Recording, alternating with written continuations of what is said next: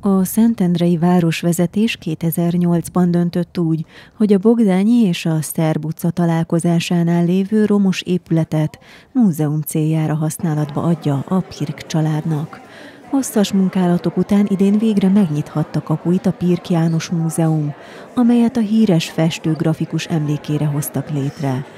A múzeum átadóval egybekötött kiállítás megnyitón jelen volt Fülöp Zsolt polgármester, dr. Vitályos Eszter a térség országgyűlési képviselője, Prosek Zoltán az FMC igazgatója, a PIRK családtagjai, valamint az építkezés támogatói. A jó hangulatról a Musica Beata kórus és a Szentendrei trió gondoskodott. Én nagyon meg voltam hatódva, fantasztikus volt a, a zenei válogatás, és na, fantasztikus volt a kórus, és, és olyan emelkedett beszédeket hallhattunk mind a polgármester úr részéről, mind a miniszter, miniszter asszony helyettes részéről, hogy, hogy szinte ha megbeszéljük előtte, hogy ki mit mond, akkor se lehetett volna sokkal jobb. És ugye én magam is mondtam egy beszédet, tehát tulajdonképpen lehet, hogy most még én sem láttam kellőképpen kívülállóként, de valaki odajött hozzám, és azt mondta, hogy az egész annyira csodálatos volt, és mindenki annyira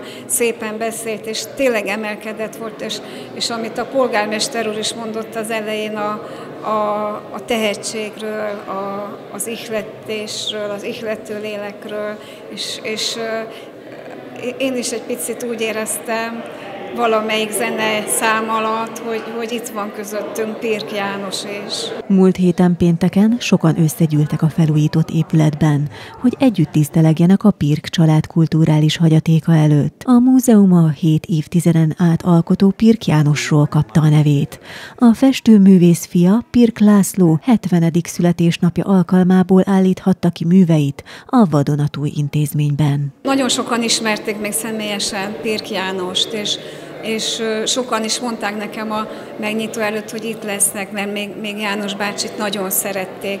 Viszont én is tapasztaltam azt, hogy, hogy tulajdonképpen a szemünk előtt épült meg ez az épület. Tehát ugye le kellett bontani bizonyos falakat, és mégiscsak a, a, a városlakók csak kíváncsiak voltak arra, hogy, hogy mi lett ebből az épületből, és ugyan már látták 2020-ban az első részét, de hát a hátsó részét azt, azt én is csak most láttam először, és az, hogy egyáltalán két kiállítás nyílik, apa és fia, de közben két teljesen szuverén alkotóról van szó, ez meg, meg mégis egy, egy olyan különleges esemény, ami, ami Szentendén kívül is ritkaság számba megy. Pirk János, galántai születésű festő grafikus a nagybányai és a Szentendrei művésztelepnek is meghatározó személyisége volt. Bodonyi Emőke művészet történész szerint művészete nem igazodott divatokhoz, nem ment át nagy stílusváltásokon, végig hű maradt eredetéhez és önmagához. Egyik leghíresebb képe, a pipacsok szintén helyet kapott a múzeumban. A pipacs az, az nála egy, egy nagyon visszatérő motivum volt, meg egy szeretett motivum is, hiszen az egy tényleg a legtörékenyebb virág, és